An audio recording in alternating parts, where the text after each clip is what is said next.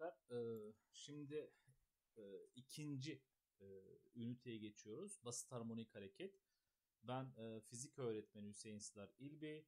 Size çembers hareketi anlattık. E, artık yeni başlığımız basit harmonik hareket arkadaşlar. Şimdi basit harmonik hareket ne? Çevremizde basit harmonik hareket yapan cisimler var mı? Biraz bunlar hakkında konuşacağız arkadaşlar. Sonra derse başlayacağız arkadaşlarım. Şimdi bakın kendi tekrarlayan, kendisini tekrarlayan harekete harmonik hareket denir. Kendisini tekrarlayan hareketlere ne diyormuşuz? Harmonik hareket diyormuşuz. Bunlar nelerdir arkadaşlar? Çembersel hareketler, dalga hareketleri, e, bunun dışında sarkaçlı saatlerin yaptığı hareketler. Bunların tamamı nedir arkadaşlar? Bunların tamamı e, harmonik hareketlerdir arkadaşlar. Basit harmonik hareket nedir?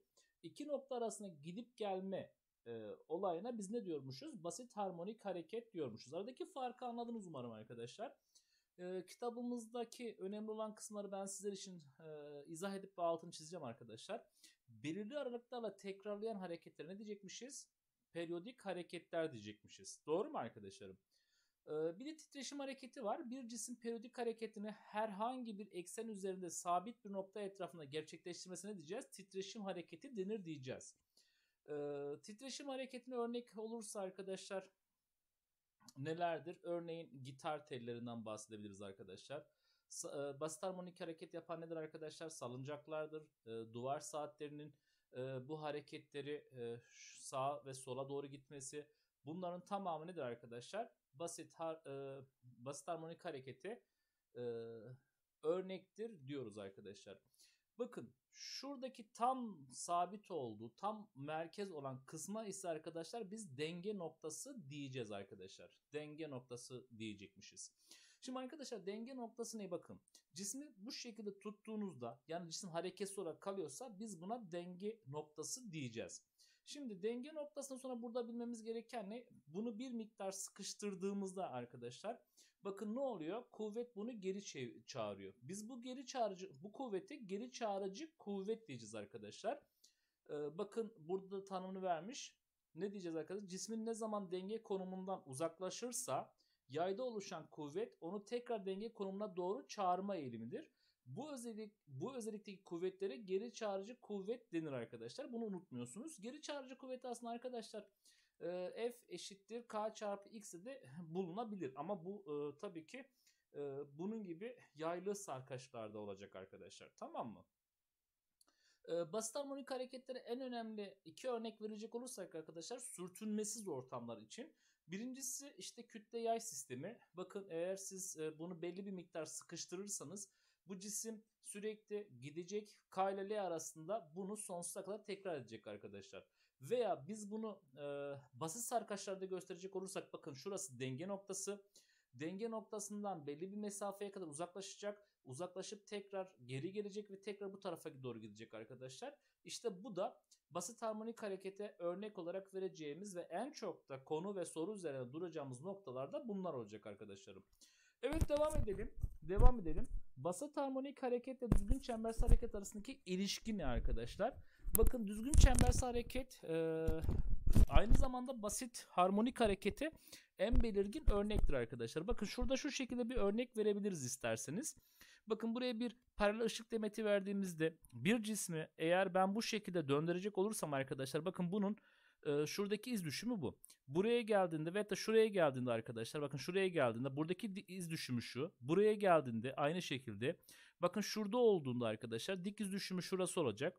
Şurada olduğunda yine dik iz düşümü burada olacak. Bakın buraya geldiğinde yine A noktası. Şuraya geldiğinde yine merkez. Şuraya geldiğinde yine buraya gelecek. Bakın burada yine tekrarlayacak arkadaşlar. Bizim burada bilmemiz gereken bir takım eee cümleler var arkadaşlar. Bu cümleler önemli cümleler arkadaşlar.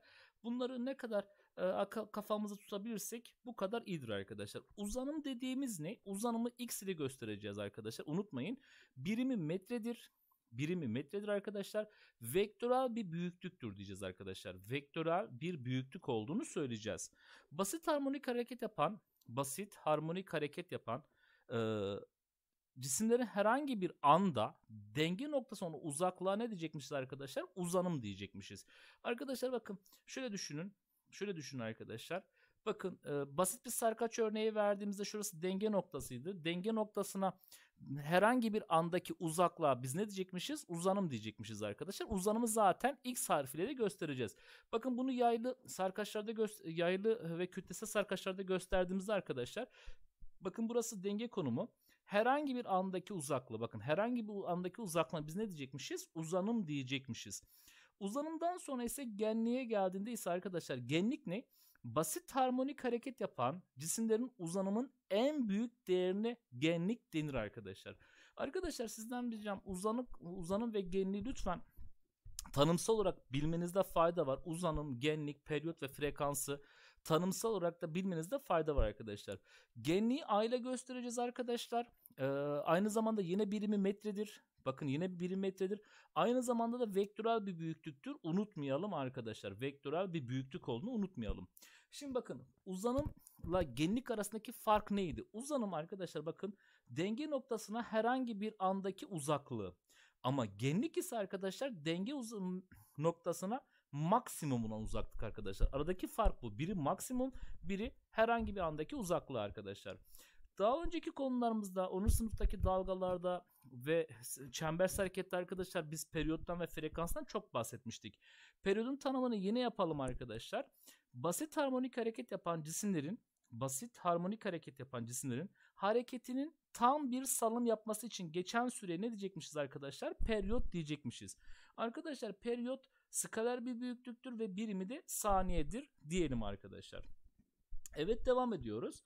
Şimdi arkadaşlar bakın e, burada önemli olan e, bir takım şeyler var. Bunlar nelerdir? Bakın arkadaşlar.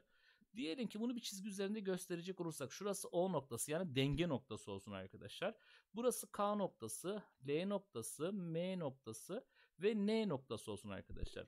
Şimdi bakın denge noktasından N noktasına gelebilmek için periyodun dörtte biri kadar gidecek arkadaşlar. Aynısını bunun için de yapabilirsin. Bakın buradan buraya gelmesi için periyodun dörtte biri.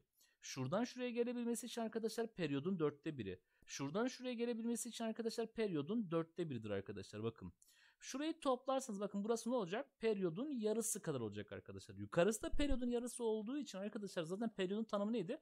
Tam bir tur atabilmesi için geçen süreydi. O zaman e, herhangi bir e, uzaklık genlikte e, genlikte demeyelim de arkadaşlar şurada da size tanımını vermiştik ya uzanım ve genlik demiştik.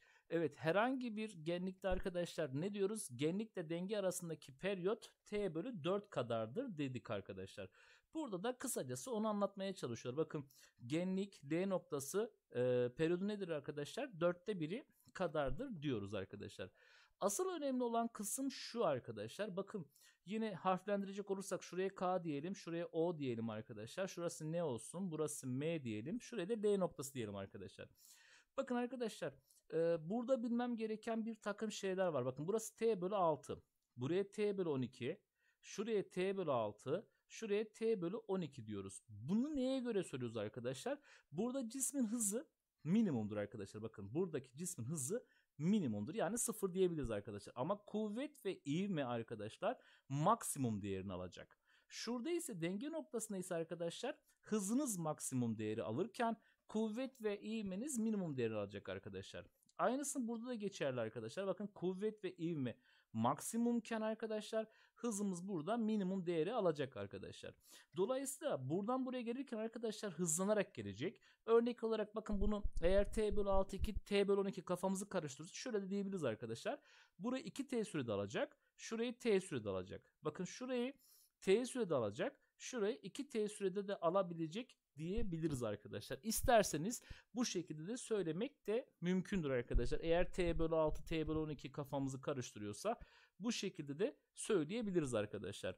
Evet sıra geldi frekansa. Frekans ne arkadaşlar? Birim zamanda yapılan titreşim sayısına frekans denir arkadaşlar. Bakın daha önce bunun tanımını yapmıştık. Birim zamanında titreşim sayısına diyoruz arkadaşlar. Frekans diyoruz arkadaşlar. Frekansla periyodun çarpımı 1'dir. Şimdi arkadaşlar frekansın birimi hertz. Ama başka bir birimi daha var mı? Var arkadaşlar. Bakın her tarafı t'ye bölecek olursak eğer şunlar gittiğinde frekans ne olur arkadaşlar? 1 bölü t olur. E, periyot neydi arkadaşlar? Saniye. O zaman frekansın birim nedir arkadaşlar aynı zamanda? 1 bölü saniye veyahut da saniye üzeri eksi 1 de diyebilir miyiz arkadaşlar? Evet kesinlikle diyebiliriz arkadaşlar. Evet sıra geldi e, örnekleri arkadaşlar. Hemen örneğin birini çözmeye çalışalım arkadaşlar. Diyor ki sürtünmelerin önemsiz olduğu yatay düzende esnek bir yayın ucuna bağlı, esnek bir yayın ucuna bağlı KL nokta arasındaki periyot 8 saniye diyor.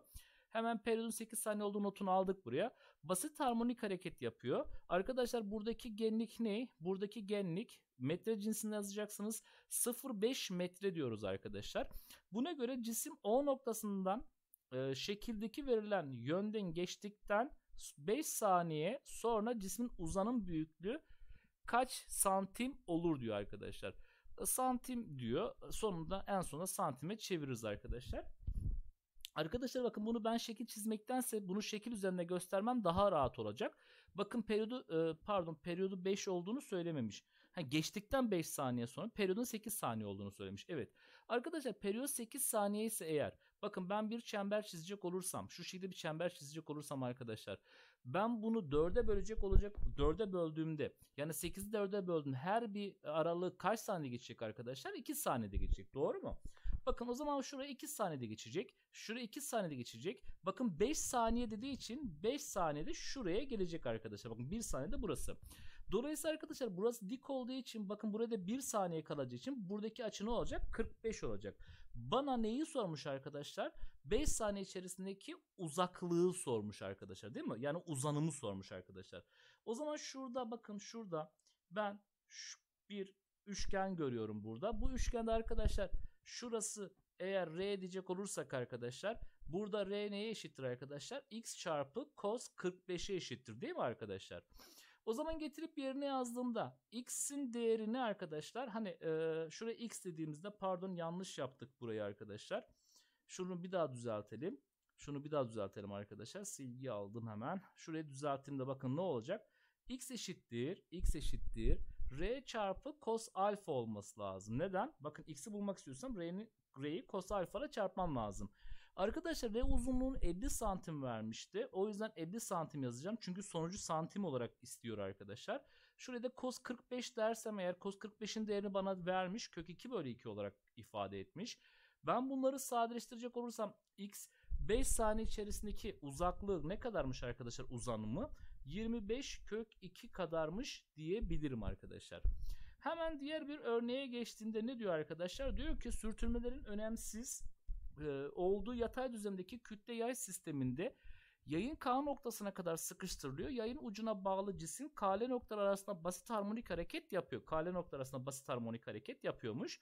K noktasında harekete başlayan cisim 6 saniye sonra denge konumunda konumu olan O'ya ikinci kez ikinci kez geçtiğine göre hareketin frekansı kaç saniyedir diyor arkadaşlar. Arkadaşlar bakın şöyle bir hemen çizgi çizip daha rahat anlatırız burada. Buraya K, L diyecek olursak arkadaşlar. Bakın şöyle yaptığım vakit birinci defa geçiyor. Gidiyor. Döndüğünde arkadaşlar ikinci defa geçmiyor mu? Arkadaşlar burayı biz nasıl gösteriyorduk? T bölü 4. T bölü 4. Şurayı da T bölü 4 olarak gösterdiğimizde ve bunları topladığımızda ne olur arkadaşlar? 3t bölü 4 oldu. Doğru mu arkadaşlar? Bu 3t bölü 4 kaça eşitmiş? 6'ya eşitmiş. Ben burada işler dışlar çarpımı yaparsam eğer arkadaşlar Hemen şunu da sadeleştirip böyle çarpalım istersek. Periyodu kaç çıkacak? 8. E arkadaşlar frekansta pardon periyotta bir frekans 1 bölü t değil miydi arkadaşlar? O zaman burası ne olacak? 1 bölü 8 hertz veya da saniye üzeri eksi 1 olacak arkadaşlar. İşte frekansını da bulmuş olduk. Önce periyodunu buluyoruz. Arkasına hemen ne yapıyoruz? Frekansını bulmuş oluyoruz arkadaşlar. T çarpı F e, eşittir 1 bantısından e, frekansını bulmuş olduk. Evet arkadaşlar sıra sizde bir numaralı soruya geldiğimizde ne diyor? Sürtünmelerin önemsiz olduğu yatay düzlemde esnek yayın ucuna bağlı cisim T0 anda şekildeki verilen yönde geçerek KP e, noktalar arasında basit harmonik hareket yapıyor. Noktalar arasındaki uzaklık 20 santim ve cisim M'den P'ye gelme süresi bakın M'den P'ye gelme süresi 3 saniye olduğuna göre hareketin denge konumu nedir diyor. Denge konumu hangi noktadır diyor.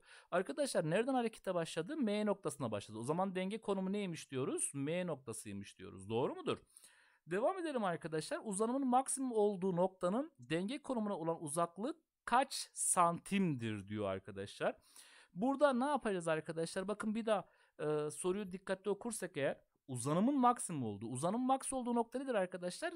Genliği de hatırlarsanız. Bu aralıkları bize eşit olarak vermiş ve 20 santim olarak vermiş arkadaşlar. O zaman burası ne olması lazım? 20 artı 20'den 40 santim olması lazımdır diyoruz değil mi arkadaşlarım? Evet bu soruyu da çözdükten sonra hemen C şıkkına geçiyoruz arkadaşlar. C şıkkında ne diyor? Cisim N noktasına geçtik noktasından geçerken N noktasına geçerken hareketin konum vektörünü çiziniz diyor. Şimdi arkadaşlar N noktasına geçerken hemen şurayı bir temizleyelim. N noktasından geçerken hareketin konum vektörünü çizin diyor. Ee, şimdi N'den geçtiğimizde bu cisim daha hareketli P'ye ulaşacağı için arkadaşlar bunun konum vektörü şu şekilde olacak. Yani N'den P'ye doğru bir çizgi olması lazım arkadaşlar. İşte konum vektörü de bu. Hareketin periyodunu ve frekansını bulun demiş arkadaşlar bize. Hareketin periyodu ve frekansını nasıl buluruz arkadaşlar? Bakın hemen yine şurada yapalım. Şurası M noktası olsun. Şurası K, şurası L, şurası N, şurası da P noktası olsun arkadaşlar. Bakın M'den P'ye buradan buraya kaç saniye geliyor? 3. Buradan buraya kaç saniye gelecek? 3. Buradan buraya karşısına gidecek arkadaşlar 3. Buradan buraya karşısına gidecek 3. Arkadaşlar cisim buradan başladığı için hareketini tam bir tur devam ederse eğer ben frekans e, periyodunu buluyordum. O zaman bunun periyodu ne çıktı arkadaşlar? 12. E bunu da biliyorum. T çarpı F'den 1. F'in de 1 bölü T olduğunu biliyorum.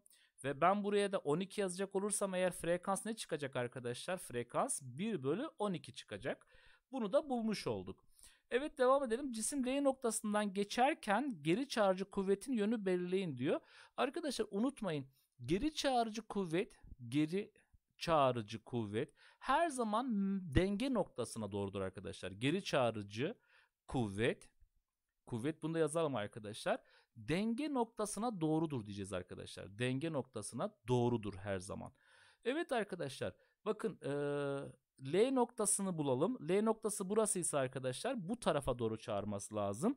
O zaman geri çağırıcı kuvvetin yönü ne olacak arkadaşlar?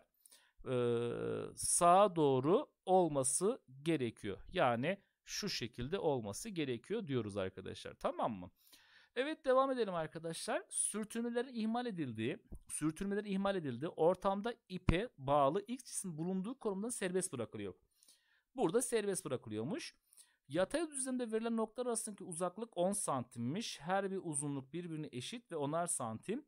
Cismin K noktasından L noktasına, K'dan L noktasına, şuradan şuraya 4 saniye olduğuna göre hareketin denge konum e, denge konumu hangi noktadır diye sormuş arkadaşlar. Bakın denge konumu arkadaşlar her zaman tam ortadaki yerdir arkadaşlar. Tamam mı? Yani basit sarkacın bağlı olduğu yerden eğer bir paralel çekerseniz arkadaşlar denge konum noktasını bulmak daha rahat olur. Hareketin genliği kaç santimdir? Genlik neydi arkadaşlar? Denge noktası olan maksimum uzaklıktı. E, her bir parça 10'ar santimse arkadaşlar o zaman ne diyeceksiniz? 10 artı 10'dan cevap ne çıkacak arkadaşlar? 20 çıkacak. Doğru mu? Evet devam ediyorum. Hareketin periyodu ve frekansı nedir diye sormuş periyot ve frekansını e, bizde bulmamızı istemiş arkadaşlar. Hatırlarsanız bakın ben size şöyle demiştim. Buraya 2T demiştim. Buraya T demiştim. Buraya T. Şuraya 2T demiştim arkadaşlar. Buradan da bulabilirsiniz. Veyahut da şurası neydi arkadaşlar? Şurası e, T bölü 6 idi. Şurası neydi? T bölü 12 idi. Bakın T bölü 6'yı 4'e eşitleyecek olursak eğer buradan işler dışlar çarpımı yaparsam periyot kaç çıkacak? 24. Frekans da 1 bölü periyotta hatırlarsanız o zaman burası da ne olması lazım? 1 bölü 24 olması lazım diyoruz arkadaşlar. Bunu da bulmuş olduk. Cismin bırakıldıktan 16 saniye sonraki uzanımı diye sormuş arkadaşlar. Bakın bunu çeyri şuraya çizelim arkadaşlar. Her zaman çizmekte fayda var. Şurası M noktası, şurası K noktası, şurası L noktası, N noktası ve şurası da P noktası değil mi arkadaşlar? Bakın ben her bir saniye periyodun 24 olduğunu biliyorum. hatta ve hatta şöyle de diyebilirim arkadaşlar. Burası 3T. 3T de burası 6T de diyebilirim arkadaşlar. Ve hatta şöyle de düşünebilirim arkadaşlar. Şurası T bölü 6 idi. Doğru mu arkadaşlar? Burası T bölü 6 idi. her bir uzaklığında 10 santim olduğunu biliyorum arkadaşlar. şuraların hepsinin 10'ar santim olduğunu biliyordum arkadaşlar. Hemen getirip yapalım bakın arkadaşlar. Nasıl yapacağız burayı? Bakın şurası t bölü 6. Periyot kaçtı arkadaşlar? Pe- burayı 4 olarak bulmuştuk hatırlarsanız. Burası 4 ise hani 2T'ye 4 düşerse arkadaşlar T'ye kaç düşmesi lazım? 2 düşmesi lazım. Aynısını burada da yapacağım. Şurası 2, burası 4 değil mi arkadaşlar? Bakın sayalım arkadaşlar. 4, 6, 8, 12, geri geldi 16. Bakın artık şurası 16. saniyedeki yeri. Merkezi olan uzaklık kaç santim arkadaşlar? 10 santimdir diyoruz arkadaşlar. Gördüğünüz gibi sorular gerçekten e, hem öğretici hem de zevkli bir konu olduğunu gördünüz arkadaşlar. Bakın pek ezbere gerek yok. Bir daha söylüyorum arkadaşlar şurası denge noktası ise eğer buraya 2t, t'de diyebiliyorsunuz. t bölü 6'ya t bölü 12'de diyebiliyorsunuz. Bunun sebebi neydi arkadaşlar? Sebebi merkeze doğru gelince denge noktasına doğru gelince hızın daha da çok artmasıydı arkadaşlar. Evet sıra geldi şu soruya ne diyor? Düşey düzlemde düzgün çembersi hareket yapan cismin hareketinin periyodu t'dir diyor. Buna göre cismin şekildeki gibi hareket buna göre şekildeki gibi paralel ışık demeti tutulduğunda cismin perde üzerinde oluşan iz düşümünün yaptığı hareketi aşağıdaki bölgeyi çiziniz diyor. Buraya çizmek daha kolayıma geliyor arkadaşlar. Bakın şöyle yapalım. Şunun uzantısı şuraya gelecek. Yani bir nokta burada. Şurada olduğunu düşünürseniz arkadaşlar. Sonra buraya gelecek. Şuraya geldiğinde ise arkadaşlar merkeze gelecek. Yani denge noktasına. Şuraya geldiğinde ise arkadaşlar devam ediyorum. Bakın şurada şöyle olacak. Cisim buraya geldiğinde yeni aynısı. Buraya geldiğinde bakın gölgesi burada. Buraya geldiğinde gölgesi burada. Tekrar buraya geldiğinde gölgesi burada. O zaman A cismin cevabı bu olacak arkadaşlar. A'nın. B şıkkını çözelim arkadaşlar. B şıkkı bize ne diyor? Şekildeki konumda geçtikten 3T bölü 4 süre sonra cismin iz düşümünün bulunduğu noktayı e, çizdiğiniz görüntü üzerinde gösterin diyor. Arkadaşlar bakın görüntü üzerinde gösterecek olursak hemen 4 parçaya böldük. Burası denge noktasıydı arkadaşlar. Hatırlarsanız bakın buradan buraya neydi? T bölü 4'te geliyordu. Şuradan şuraya neydi geliyordu? T bölü 4'ten geliyordu arkadaşlar. Burası da T bölü 4'tü. Eğer ben bunları toplarsam bakın 3 tane T bölü 4 bana şunu verdi mi arkadaşlar? Nereye gelmiş oldu? Bakın yine denge noktasına gelmiş oldu diyoruz arkadaşlar. Yani neredeymiş? Denge noktasında olduğunu söyleyebiliriz arkadaşlar. Evet basit harmonik hareketin konum zamana göre değişiminden bahsedeceğiz arkadaşlar. Ee, konum zaman e, hareketine başlamadan önce arkadaşlar bakın şunu unutmayın. Geçen sene 11 sınıfta e, elektriksel alanda sinüsel bir bağlantı olduğunu biliyorduk. Hani bir grafik olduğunu biliyorduk. Burada çok miktarda sin grafiğini inceleyeceğiz arkadaşlar. Bakın e, şunu da bilmenizde fayda var. E, doğrusal bir eksen üzerinde sabit hızla hareket eden cisimlerin konum zaman grafiği doğrusaldır. İvmeli hareket yapan cisimlerin konum zaman grafiği ise eğrisel olduğunu öğrenmiştik. Bunu geçen e, senelerde bunu öğrenmiştik arkadaşlar. Evet arkadaşlar şurası e, şuradan başlayalım şimdi. Ne diyor arkadaşlar? Basit harmonik hareket yapan konum zamanına göre değişimi deneyinde yarıklı kütleye takılan kalem ucundan kağıt üzerinde çizdiği şeklin bir sinüsel eğri olduğunu görülmektedir arkadaşlar diye bir başlık atmış. Arkadaşlar burada benim size asıl anlatmak istediğim nokta şu. Bakın şurada şurada eğer bu şekilde hareket ediyorsa bunu anlamıştır arkadaşlar. Denge noktasında başlamıştır arkadaşlar. Denge noktasında başlamıştır. Eğer sıfırdan başlamış başlamış ise arkadaşlar başlamıştır diyoruz arkadaşlar. Eğer denge noktasında değildi arkadaşlar bakın e, herhangi bir genlikte başlamışsa arkadaşlar bakın şurası e, genlik noktasından başladığını gösterir. Genlik noktasından. Arkadaşlar bakın sıfırda başlıyorsa eğer grafiğiniz sıfırda başlıyorsa arkadaşlar şurası maksimum genliğiniz. Sıfırda başlıyorsa eğer arkadaşlar grafiğimiz bu şekilde ama herhangi bir uçta örneğin arkadaşlar bakın şurada veyahut da şurada başlıyorsa arkadaşlar grafiğimiz konum zaman grafiğimiz aşağıdaki gibi olacak arkadaşlar. Hemen devam edelim. Ne diyor? A genlik e, genlikli basit harmonik hareket e, yapan cisim periyodu 4 saniyedir diyor. Hemen periyodun 4 saniye olduğunu yazalım şuraya arkadaşlar. E, cisim T0 anında eksi A konumunda olduğu kabul edilirse konum zaman grafiğini çiziniz diyor. Arkadaşlar bakın şurada hemen çizelim isterseniz. Şurada hemen çizelim arkadaşlar. Bakın 0 anında eksi A'daymış arkadaşlar. Şuradaymış. Hemen arkadaşlar şurada okuduğumda bakın ne diyor? E, periyodu 4 saniyedir diyor. Hemen şunu bir yazalım. Burası birinci saniye olsun. ikinci saniye olsun. Üçüncü saniye olsun. Dördüncü saniye olsun. Ve burası da beşinci saniye olsun arkadaşlar. Grafiği de farklı bir renkle çizelim arkadaşlar. Bakın eksi A'dan başlayacak. Şurası eksi A'ydı arkadaşlar. Eksi A'dan ne olacaktı arkadaşlar? Başlayacaktı. Şu şekilde devam edecek mi arkadaşlar? Sonra gelecek 3'te devam edecek arkadaşlar. Sonra ne gelecek? 5'te devam edecek. Şimdi bunun arkadaşlar bakın e, periyodun 4 olduğunu nasıl anlıyorum? Bakın çukur çukur arası arkadaşlar bir tam tur yapmış oldu arkadaşlar. Bu da periyodun 4 olduğunu bize gösteriyor arkadaşlar. Yani şeklimiz bu şekil olması gerekiyor arkadaşlarım. Evet e, sıra geldi geri çağrıcı kuvveti arkadaşlar. Geri çağrıcı kuvvet veyahut da e, konuma göre değişim nasıl olur arkadaşlar bundan bahsedelim. Geri çağrıcı kuvvet arkadaşlar unutmayın bir önce bahsetmiştim size. Her zaman denge noktasına doğrudur arkadaşlar. Bakın buradaki geri çağrıcı kuvvet bu tarafta. Buradaki bu tarafta. Buradaki bu tarafta arkadaşlar. Geri çağrıcı kuvvet bakın arkadaşlar cisminiz şurada olduğunu düşünelim. Denge noktanız buradaysa arkadaşlar geri çağrıcı kuvvetiniz burada olur. Eğer cisminiz şuradaysa arkadaşlar geri çağrıcı kuvvetiniz ne olacak arkadaşlar? Bu tarafa doğru olacak. Şimdi geri çağrıcı kuvveti biz nasıl buluyoruz arkadaşlar? İsterseniz bu ispatlarla daha çok uğraşmaktansa arkadaşlar ben size geri çağrıcı kuvvetin formülünü vereyim arkadaşlar. F eşittir m çarpı v kare çarpı x'tir diyoruz arkadaşlar. Burada neden eksi alıyoruz? Sebebi ise arkadaşlar konum vektörüne göre konum vektörüne göre e, ters yönlü olduğu için arkadaşlar geri çağrıcı kuvveti eksi olarak gösteriyoruz. Ama soru çözerken e, hiçbir zaman orayı eksi olarak almıyoruz arkadaşlarım. Tamam mı?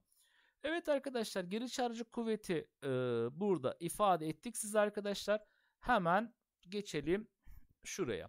Bakın arkadaşlar geri çağrıcı kuvvet ve zaman grafiğinin e, zamana göre grafiğini inceleyelim arkadaşlar. Bakın denge noktasına başlamış. Burası maksimum kuvvet arkadaşlar. Maksimum kuvvet olduğunu nasıl bakın bu nerede maksimum olur? Ben size bunu anlatmıştım. Bir de anlatıyorum arkadaşlar. Genlik nerede? Yani şuralarda kuvvetiniz ve ivmeniz maksimumdur arkadaşlar. Bakın bir daha söylüyorum. En uçlarda kuvvet ve ivmeniz maksimumdur. Denge noktasında ise arkadaşlar hızınız bakın bir daha söylüyorum. Denge noktasında ise sadece ve sadece hızınız maksimumdur. Kuvvet ve ivmeniz arkadaşlar sıfırdır. Bunu lütfen unutmayalım diye diyorum sizlere arkadaşlar. Evet devam ediyorum arkadaşlarım. Sürtünmelerin önemsiz olduğu yatay düzlemde basit harmonik hareket yapan 2 kilogram kütleli cismi etki eden geri çağrıcı kuvvetin zamana bağlı değişim grafiği şekildeki gibidir. Buna göre cismin yapmış olduğu hareketin genliği kaç santimdir diyor arkadaşlar. Arkadaşlar geri çağrıcı kuvvetin formülünü biliyor muyuz? Geri çağrıcı kuvvet neydi arkadaşlar? F eşittir m çarpı v, e, w kare çarpı r diyoruz arkadaşlar. Doğru mu? Veyahut da omega. Şimdi arkadaşlar omega'yı nasıl bulursunuz? 2 pi bölü t ile buluyoruz değil mi arkadaşlarım? Şimdi arkadaşlarım bakın. Bunun periyodunu bulmak kolay. Bakın bunun periyodu neydi arkadaşlar? Ya iki tepe arası ya iki çukur arası olacak. Bakın periyodu 4. O zaman buraya 4 yazabilirim. Burası 2 çarpı 3'ten arkadaşlar. O bunun açısal hızı yani omegası ne olacak arkadaşlar? 3 ee, bölü 2 olacak arkadaşlar. Şimdi götürüp bir yerine yazıyorum. F eşittir diyeceğim. Ama bakın F'te burada maksimum ne arkadaşlar? 1.8. O zaman buraya 1.8 yazabilirim. Kütlesi ne arkadaşlar? 2. Buraya 2 yazdım. E, açısal hızı ne arkadaşlar? 3 bölü 2'nin karesi çarpı R. Bana çünkü genliği sormuş arkadaşlar. Şimdi arkadaşlarım bakın e, burası ne yapar? 18 bölü 10 diyelim şuraya. Bu da eşittir 2 çarpı 9 bölü 4 çarpı r kare r dedik. Bakın 2 ile 9 çarparsam 18 burası gitti. Yani 1 bölü 10 eşit değil midir arkadaşlar r bölü 4'e? İşler dışlar çarpımı yaparsam eğer burada 10r eşittir 4 ise eğer r buradan kaç çıkacak arkadaşlar? 4 bölü 10. Ee, bu 0,4 metredir arkadaşlar. Bunu santime çevirmek demek yüzle çarpmak demektir. 0,4'ü ben eğer yüzle çarpacak olursam arkadaşlar ne olacak? 40 santim olacak diyoruz arkadaşlar. Evet bu soruyu çözdükten sonra hemen geçelim diğer bir sayfaya. Burada da bir soruyla karşı karşıyayız arkadaşlar. Bu soruyu nasıl çözeriz arkadaşlar? Okuduğumda ne diyor? Kütlesi önemsiz bir yayın ucuna bağlanmış 2 kilogramlık kütleli cisim sürtünmesi yatay düzlemiş şekildeki gibi dengelidir. Cisim 40 santim çekilip bırakıldığında 0,4 saniye periyotla basit harmonik hareket yaptığına göre basit harmonik hareket yaptığına göre yayın cisme uyguladığı kuvvetin en büyük değeri kaç Newton'dur diye sormuş. Hemen arkadaşlar bakın e, şunu yazalım. M eşittir V kare çarpı R diyoruz arkadaşlar. Kütle belli mi? Evet. R belli mi? Evet. Bakın 40 santim. Ama burada açısal hızı bulmam lazım. Açısal hızı nasıl buluyorduk arkadaşlar? 2 pi bölü t ile buluyorduk. Pi'yi bize burada kaç vermiş? 3 vermiş. Hemen bunu bir bulalım. Sonra da götürüp yerine yazalım arkadaşlar. Bakın formülde ne eksikse onu bulmaya çalışıyorum. Burası 0,4 oldu mu arkadaşlar? Şu işlemi yaparsak burası ne olur arkadaşlar? 15 olur. Hemen değerleri yerine yazdığımız arkadaşlar kütlesi 2, burası 15 yani 15'in karesi çarpı 40 santim yani 4 bölü 10 metredir diyeceğiz arkadaşlar. Burada ne çıkacak? 2 çarpı 15'in karesi 225 çarpı 4 bölü 10 dediğimizde. Bakın 2'ye böldüm. Burası 5 çıktı. 225'i 25'e bölsem kaç kere var arkadaşlar? Ee, hemen şuradan bir kopya çekelim. Ee, çektiğimizde kaç çıkıyor? 15'in karesi demiş arkadaşlar. Neyse biz bunu direktmen sonuç olarak yazalım. 180 diyelim arkadaşlar. Cismin denge konumundan 20 santim uzaktayken yayın cisme uyguladığı kuvveti sormuş. Aynısını yine yapacağız arkadaşlar. F eşittir diyeceğiz. M çarpı V kare çarpı R veyahut da X arkadaşlar. Kütlem ne? 2. E burası neydi arkadaşlar? 15'in karesiydi. 20 santim ne demek arkadaşlar? 2 bölü 10 demek. Bakın 4 bölü 10'da eğer 180 çıkıyorsa 2 bölü 10'da yarısı kadar çıkacak arkadaşlar. 90 Newton çıkacak diyoruz arkadaşlar. Evet arkadaşlar e, bu da e, şu soruyu çözelim. Ondan sonra da arkadaşlar e, öbür derste görüşmek üzere sizden müsaade isteyeceğim. Sürtünmelerin önemsiz olduğu düşey düzlemde basit harmonik hareket yapan 4 kilogramlık kütleli cismi etkeden geri çarjı kuvvetin konumuna bağlı değişim grafiği şekildeki gibidir. Buna göre cismin yapmış olduğu basit harmonik hareketin frekansı. Bana burada neyi sormuş arkadaşlar? Frekansını sormuş. Şimdi arkadaşlar bunu nasıl bulacağız biz? Frekansı bulmak e, istiyoruz arkadaşlar. Önce bakın burada kuvvet zaman e, kuvvet uzanım grafiği var. O zaman aklıma hemen şu formülün gelmesi lazım. mv kare çarpı r gelmesi lazım. Bakın burada maksimum kuvvet 160 vermiş. Kütleyi bana 4 vermiş arkadaşlar. Buradan v kareyi bulmak istiyorum. R'si kaç arkadaşlar? 0,4 metre. Yani 4 bölü 10 metre der, dersek arkadaşlar. Bakın 4 ile 4'ün çarpımı 16. Şunu götürsün. Burada 10 kaldı. Burada ne kaldı arkadaşlar? V kare bölü 10 kaldı mı? İşler dışlar çarpımı yaparsam eğer burada omega'nın karesi kaç çıktı arkadaşlar? 100 çıktı. Kök için alacak olursam omega buradan kaç çıkacak arkadaşlar? Omega buradan 10 çıkacak. E arkadaşlar omega'nın ne olduğunu biliyoruz. Omega neydi? 2 pi bölü t idi arkadaşlar hatırlarsanız. 2 pi bölü t. D'leri yerine yazarsam şuraya 10 yazdım. 2 çarpı 3 çarpı t'den T buradan kaç çıkacak arkadaşlar? 6 bölü 10 çıkacak. Doğru mu arkadaşlar? Yani bu bana periyodu veriyor. Bana neyi sormuş arkadaşlar? Frekansını sormuş. E arkadaşlar bakın bunu sadeleştirecek olursam burası 3 bölü 5 olmaz mı? Frekans da bunun tam tersiydi arkadaşlar. O zaman 5 bölü 3 olacak. Yani 5 bölü 3 saniyedir diyoruz arkadaşlar. Evet canım arkadaşlarım burada noktaya koyuyorum. Öbür ders görüşmek üzere. Kendinize çok iyi bakın.